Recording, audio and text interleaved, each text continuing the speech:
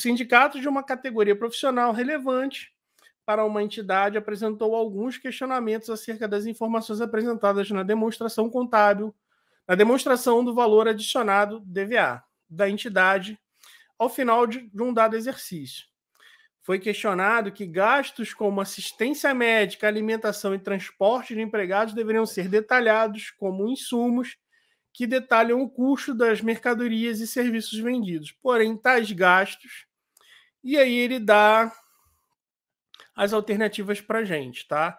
São componentes da distribuição da riqueza criada, são detalhados como remuneração de capitais próprios, são deduzidos do valor adicionado recebido em transferência, estão contemplados no valor adicionado líquido produzido pela entidade e não são inclusos na estrutura da DVA. Galera, o que, que é DVA?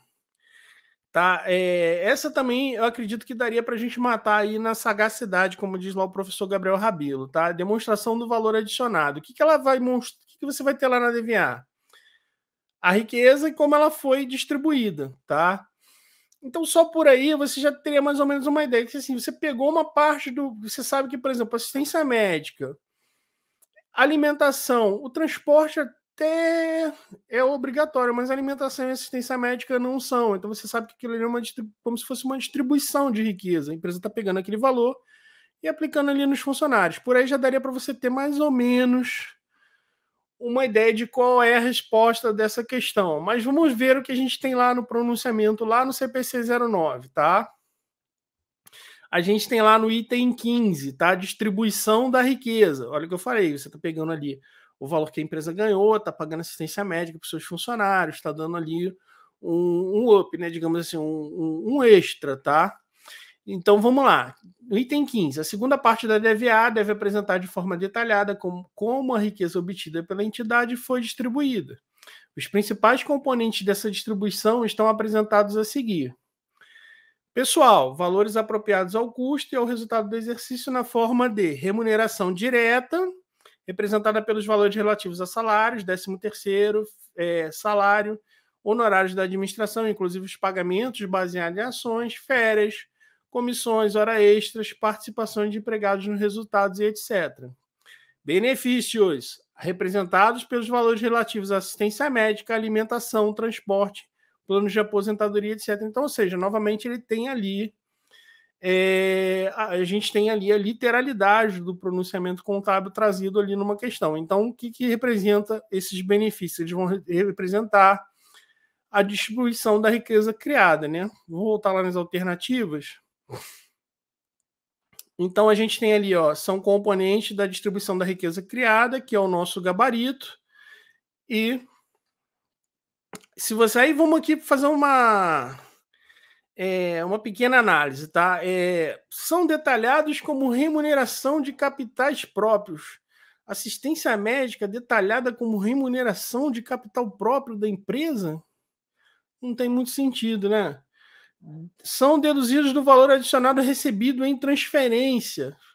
Então a empresa recebeu ali um valor transferido e aí esse valor vai, vai abater a Não, não vai, também não vai, também não tem muito sentido estão contemplados no valor adicionado líquido produzido pela entidade. Eles vão estar dentro do valor adicionado líquido. Líquido é líquido, líquido de despesa. Ele vai estar ali dentro? Não vai estar, né? Não são incluídos na estrutura da EVA. Eu, por exemplo, se não soubesse a literalidade do CPC, eu ficaria em dúvida entre A e E, mas acho que eu marcaria A.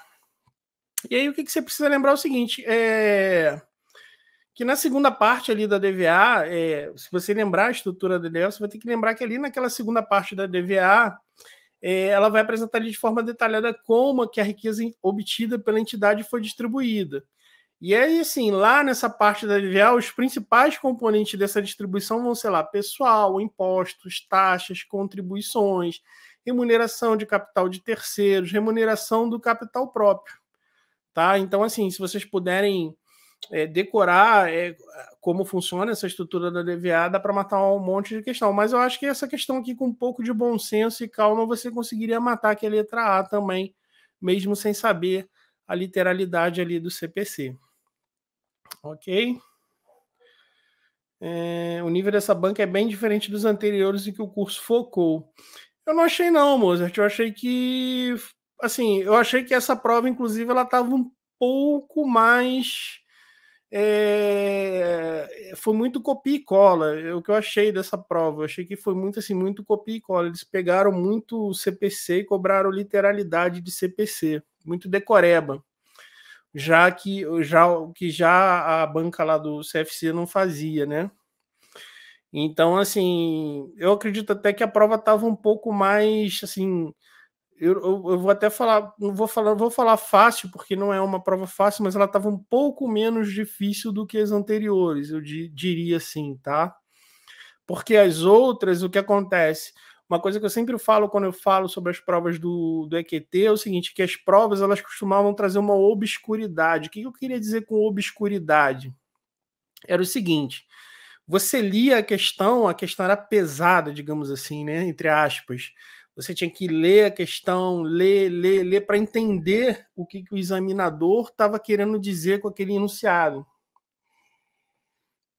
Algumas vezes também as alternativas eram meio pesadas, então você tinha que. Peraí, o que está que querendo dizer com isso aqui? Era, era, pesado, um texto pesado, digamos assim, questões grandes, questões é, de, de muita leitura. Você perdia muito tempo lendo a questão. Eu acho essa prova ela um pouco mais resumida, assim enunciados menores, questões mais objetivas. As provas anteriores você tinha muitas, muitas questões de verdadeiro ou falso. Então ele botava lá um texto enorme, embaixo ele botava lá um monte de verdadeiro ou falso para você embaixo marcar qual é a alternativa que corresponde é, as questões assim, para você marcar lá VF, VF. Então, assim, você tinha que ler muito, você tinha que ter muito conhecimento, digamos assim. Eles cobravam bem mais pesado. Porque, até porque acho que, por exemplo, nas questões de, de múltipla escolha, quando você tem uma assim assertiva, que são iguais a essas que a gente está vendo aqui, que você tem que responder qual é a pergunta certa, né? qual é a alternativa certa, você tem, às vezes, como eliminar uma ou duas. Dependendo da questão, você consegue, às vezes, até eliminar três e ficar em dúvida em duas. Então, assim, você tem uma chance maior de, de acertar a questão quando, por exemplo, quando você tem questões de verdadeiro ou falso, a chance de você errar é bem maior, né? Ou questões, por exemplo, que você tem que. Ah, 1, a 2 e a 3 estão corretas, ou a 2 e a 3 estão corretas. Esse tipo de questão te, pode te induzir mais ao erro se você não souber a questão como um todo, né? Isso é uma opinião minha. Mas era estava difícil a prova, não estava. Ah, Rosicler, Rosicler, tudo bem? Achei difícil também, mas estudei por, pouco tempo. É, essa prova exige que vocês se preparem um pouquinho mais, tá?